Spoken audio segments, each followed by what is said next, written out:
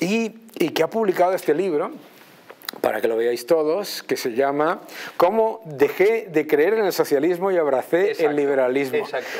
Hugo, es que yo la primera vez que te Hay una anécdota. Sí. tu- vamos, tú me Sí. contaste una vez, recuerdo, cuando te entrevisté a ti, que hoy es la primera vez que nos intercambiamos los, los papeles, lo cual es Sí. un honor para mí. Me dijiste, claro, yo pensaba que eran broma los vídeos Claro. los vídeos que tú hacías. Un día te pasarían alguno mío de la época de cuando eras precisamente socialista y tú pensabas que, que yo hacía la broma. Bueno, fíjate que yo recibía unos eh, vídeos en, en Twitter, creo que era, en Twitter, me llegaban unos vídeos de Hugo, no sabía cómo se llamaba, eh, extremadamente socialistas, ¿eh? total y absolutamente socialistas. Y eran tan extremadamente socialistas y tan propagandísticos que yo decía, no me voy a atrever a responder porque me temo que esto es una broma, ¿no? Y no era una broma, y no, No era una broma. broma. Cuéntanos tu viaje del socialismo al liberalismo.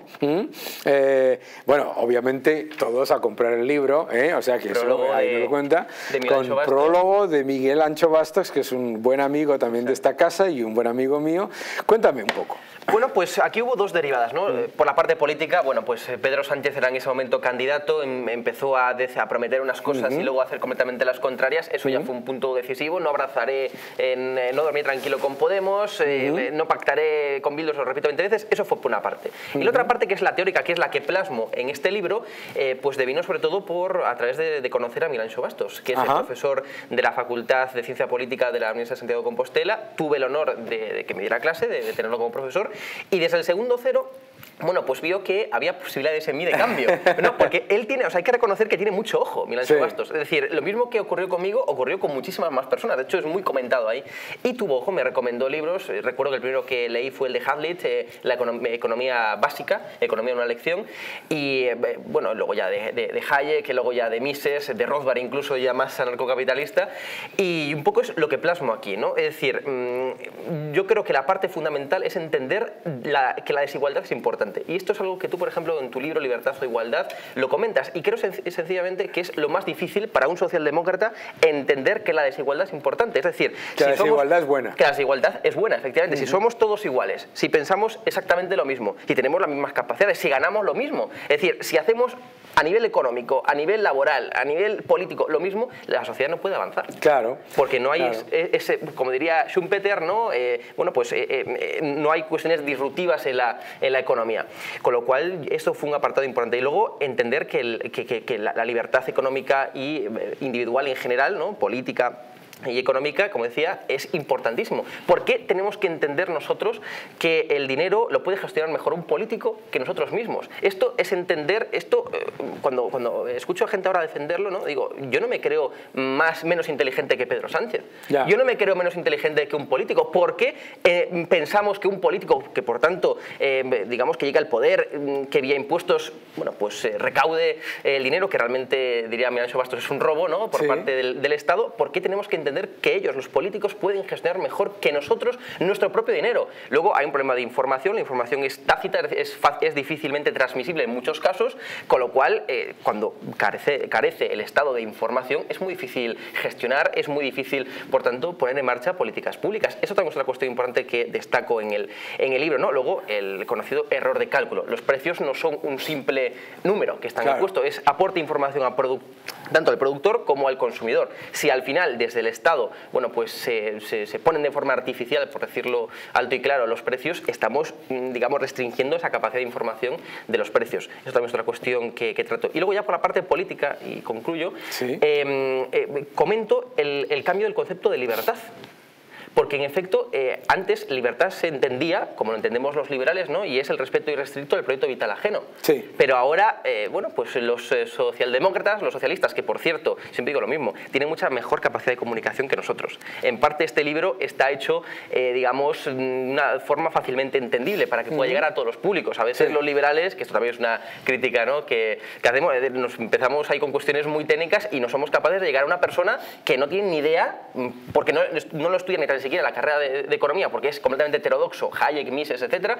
Eh, entonces, claro, eso es un poco la base. El cambio del concepto de libertad, cuando se juntó, cuando lo asociaron con el de igualdad y sobre todo igualitarismo. Claro. Que cuando ponen el ismo, ya sabemos que ese es el problema. Entonces, cuando convierten a una ideología la igualdad, cuando convierten a una, digamos, creencia de, fe la igualdad, ese es el problema. Entonces, hubo ese cambio del concepto de libertad que también lo plasmo. Claro, porque yo creo que es que la gente se le, ha, se le engaña utilizando lo que todos estamos de acuerdo, que es la igualdad de oportunidades, con igualdad de resultados, Exacto. que no es lo mismo. Claro, te dicen, no existe el mérito, porque yo me esforcé mucho y no lo conseguí. No, eso no significa que no exista el mérito, eso significa que tú, en una serie de circunstancias, no te fue especialmente bien. Eso no significa que no exista el mérito.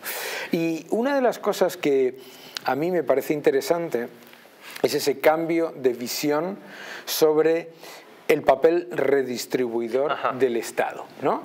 Exacto. Porque, claro, tú vienes a mí no me ocurrió de esa manera, ¿no? O sea, yo venía de un entorno socialdemócrata, pero socialdemócrata de los años 80. es decir, socialdemócrata, es decir, socialdemócrata que ahora se consideraría probablemente hasta, hasta liberal total, ¿de acuerdo?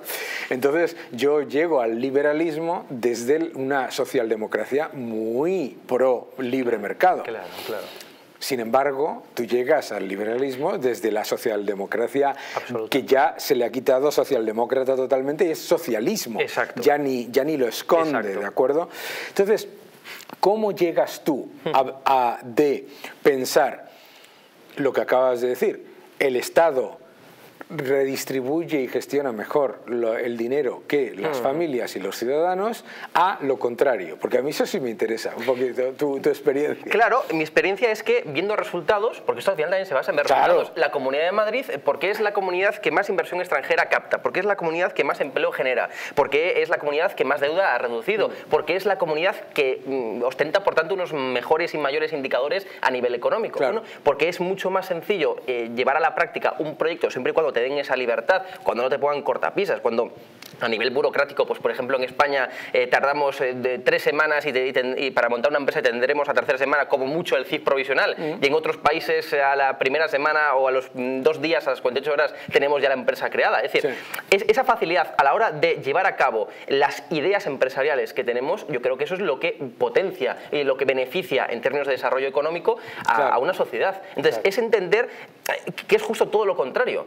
que es entender que el Estado cuando redistribuye genera los problemas. El caso típico de las crisis, ¿no? de las burbujas. ah, bueno, claro. Pues los, los, bancos centrales aumentan la masa monetaria, grosso modo eso genera la burbuja eh, bancaria porque hay un exceso de masa monetaria en el en el mercado eh, y luego se erigen como los, eh, los que van a solucionar ese problema que ellos mismos generaron. Claro. Entonces, eso es una cuestión también fundamental, entender que detrás de esas palabras de vamos a, solucionar los fallos de mercado, pues realmente lo que subyace es un fallo de Estado. Eso, eso lo digo yo siempre, que mucha gente cuando te dice los fallos del capitalismo ¿no? y le preguntas, por favor, explícame cuáles son. ¿no? Y entonces te los explican, le dices, tú eres consciente de que eso no son fallos del capitalismo, sino fallos del estatismo. Es, exacto. ¿Eh? Claro, y que eh, estás poniendo la atención en el sitio equivocado. Exacto.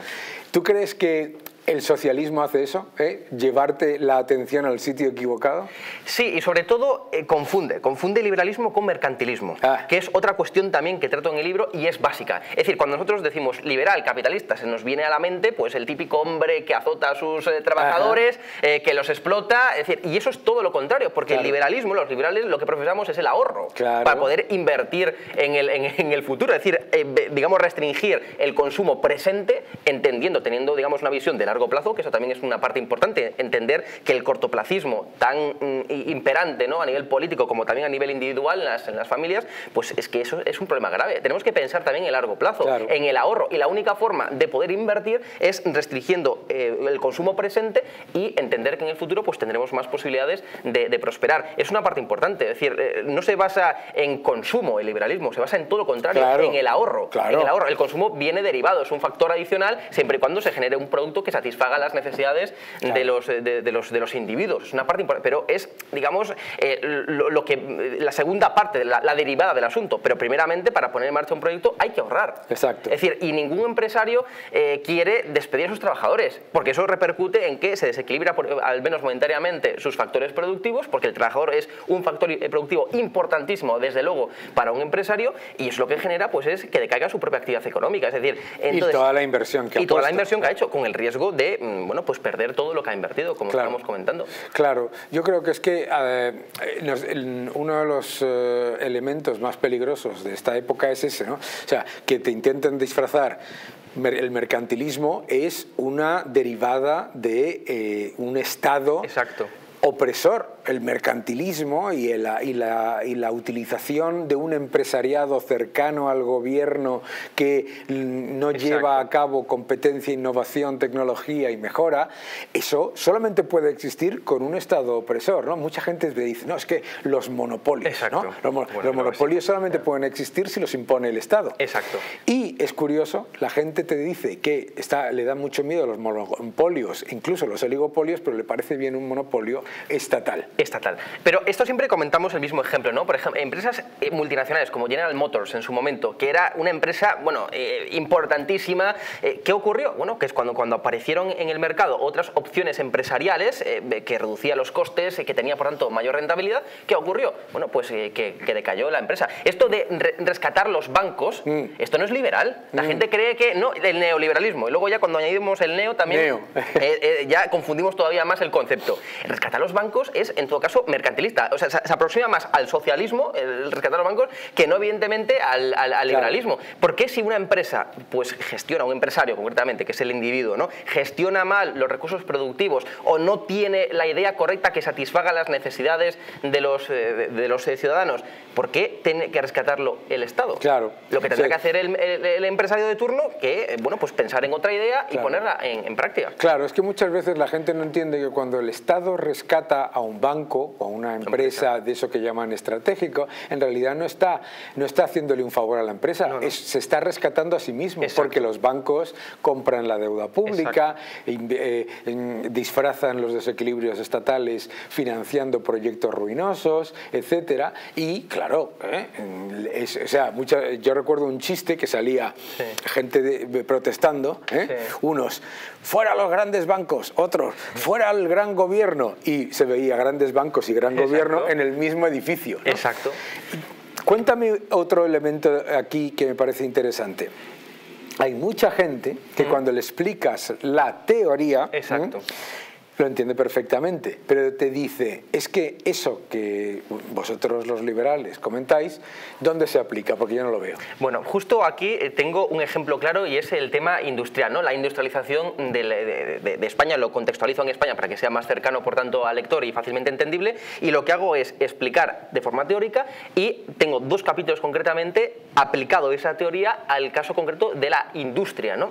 Eh, ¿Qué comento? Bueno, pues claro, nos llevamos la mano a la cabeza de que no hay industria en España. Bueno, efectivamente, cuando tenemos un esfuerzo fiscal que es un 52% superior, por ejemplo, a la eurozona, es decir, a nuestro entorno europeo, cuando tenemos una tasa de desempleo que no solamente es la más grande de la Unión Europea, sino la más grande de la OCDE, de las economías más desarrolladas. Es decir, eso es muy difícil, eh, uno, mm, que se genere en el propio país una empresa y desde luego también captar inversión extranjera. En España hace mm, falta no lo siguiente, la captación de inversión extranjera. El grosso de nuestro tejido eh, empresariales en un 98% pequeñas y medianas empresas. Uy, microempresas. Microempresas, de menos de 10 trabajadores. de menos de 10 trabajadores. Eso evidentemente está bien que haya ese tipo de empresas, pero desde luego sería mucho mejor tener empresas más sólidas que tengan mayores márgenes y que aguanten ante bueno, pues momentos como, por desgracia, la guerra de Rusia y Ucrania, que efectivamente es un factor exógeno, pero no es el único factor como nos vende el, gobierno que afecta a la, economía. Eso es, eso es una cuestión también yo creo que muy importante. Entonces, la parte de la teoría también la plasmo en la, eh, con el ejemplo industrial. Y luego, el último capítulo creo que también es muy importante se basa en explicar a dónde van nuestros impuestos. Porque en España hay una, eh, una falta de conocimiento económico y financiero ah, absoluto. El dinero público no existe, existe el dinero, del contribuyente. Una frase de Margaret Thatcher que tenía toda la razón. Exacto. Sí. Eh, es increíble eh, que, por ejemplo, pues, un estudiante, un un chaval pues no tenga hasta segundo bachillerato y además de forma opcional una asignatura de economía. Es decir, es verdaderamente eh, increíble, como también es increíble que como hablamos en la, en la, tú lo sabrás mucho mejor que yo, en la carrera de economía, de ciencias económicas, pues no se explica autores eh, como Hayek, como Mises, no se menciona en toda la carrera. Hay economistas que salen, que tienen su grado, ahora se dice grado en economía, y que no tienen la más remota idea de quién es Hayek o Mises, o de quién es alguien de la escuela austríaca. No, no, totalmente, vamos, eso me pasó a mí. Y, pongo otro ejemplo en el, capítulo final, que es el Día de la Liberación Fiscal, que, es, eh, que, que es el que pone encima de la mesa todos los años la Fundación Civismo, que yo en su momento también colaboré eh, con ellos, y lo que nos dice es que es, algo alucinante, que trabajamos más de medio año para el gobierno, es decir, mm. para Hacienda. Claro. Es decir, que todo lo que ganamos va a Hacienda. Claro. Hasta mm, normalmente suele ser en junio o julio, el día de la liberación fiscal. Dependerá también de las diferentes comunidades autónomas, si hay menos impuestos, como por ejemplo el caso de Madrid, pues un poco antes, y etcétera. Pero eh, pensar que estamos trabajando mitad del año, o más de mitad del año, para Hacienda, claro. esto nos tiene que hacer reflexionar al menos. Y eso también lo comento en el último... En último claro, pero a la gente se le vende la idea de que tú pagas muchos impuestos porque los ricos pagan pocos. Es que es una tontería. Es una tontería estadística, ¿no? Porque el que piense que 50.000 personas en España van a, van a, van a pagar medio billón anual de gasto, pues no tiene ningún sentido. Pero esto que acabas de comentar tú del Día de la Liberación Fiscal, tiene una fase eh, que, es la del engaño. ¿no? Ellos te dicen, no, hombre, no, el Estado concede muchos más derechos económicos de los que pagas en impuestos. ese es el argumento. Y, claro, y dices, ¿así? ¿Y de dónde los saca? Claro, porque te dicen, no, es que el Estado concede mucho más derechos económicos de los que pagas, por lo tanto la inmensa mayoría de la gente recibe más del Estado de lo que paga. Y si eso es así, ¿de dónde viene? Ah, de mayor inflación, de menor crecimiento, de mayor paro y de, obviamente, muchos mayores impuestos en el futuro. Lo único que está haciendo es pasarle la factura a tus nietos. Exacto, y luego también hay que, bueno, pues, eh, pues, eh, pues comprender eh, que, bueno, que cuando se aumentan los impuestos se disminuyen los incentivos para que al fin pues una, una, una persona pues puede llevar a cabo eh, una iniciativa empresarial. Con lo cual es que eso repercute, insisto, porque también otra de las cuestiones importantes que trato en el libro es la teoría de valor subjetivo. Claro. Esto es otra cuestión importante que tenemos que entender. Es decir, el precio final, para así decirlo, no lo pone el empresario. Claro. Es decir, lo pone el propio consumidor si ve que ese producto pues, le satisface sus necesidades y se compra, bueno, pues, pues ampliamente, ¿no? Por así decirlo, ese, ese bien o servicio. Entonces, el, el, valor es que es subjetivo. Claro. Luego está también la teoría del, digamos, del utilitarismo decreciente, ¿no? Claro, eh, pero no te, que, que se lo tienen que comprar. Claro, ¿eh? todo. ¿eh? No les cuentes el libro entero, este libro, ¿por qué dejé de creer en el socialismo y abracé el liberalismo? No solamente es un libro esencial, sino que además me encanta que sea de la, de la, de la colección Guía Burros. Es la colección... Eso, de verdad, fue, eh, digamos, sin querer, ¿no? Es decir, no, fue, pensado. Yo cuando, claro, porque la colección es, es Guía Burros, la, editorial es Editatum, y, claro, yo cuando me presentaron la, la portada del libro vi Guía Burros ahí. No está hecho por, por maldad, ¿no? Capítulo por capítulo, desde el capitalismo no es lo que tú crees que es, hasta el dinero del público no existe, la preciosa libertad, un libro esencial. Hugo, muchísimas gracias por venir aquí a presentarlo. Ustedes ya saben lo que tienen que hacer, comprarlo, ¿eh? porque dejé de creer en el socialismo, porque además es eso, una creencia porque no funciona nunca. Muchísimas gracias y ustedes sigan defendiendo la libertad. Nos vemos la semana que viene.